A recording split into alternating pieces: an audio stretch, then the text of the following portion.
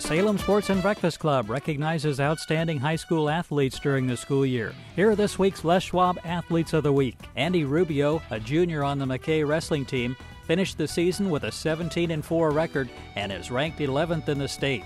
He placed third at the Heron Holiday Classic at 170 pounds and first at the Tiger Tourney at 160 pounds. Andy won the Greater Valley Conference Championship at 160 pounds, defeating Sprague's Dane McKinney with a two point takedown in overtime.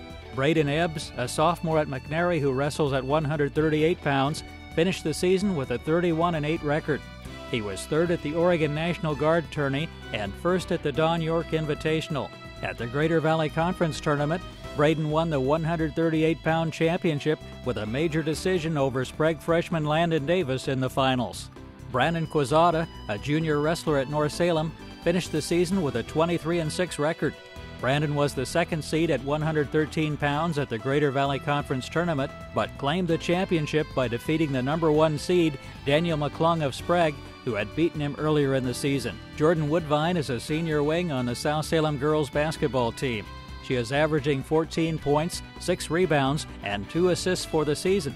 Jordan had highs of 24 points against West Salem and Oregon City this year and scored 20 points in South Salem's two wins over McNary. She will play basketball at Boise State University next year.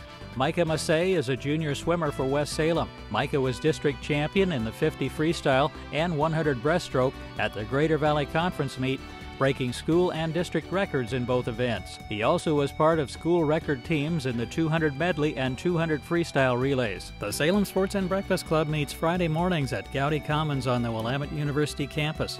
Doors open at 6:30 a.m. and the program begins at 7. The public is invited to attend. For more information, please contact Don Kurzel at don at.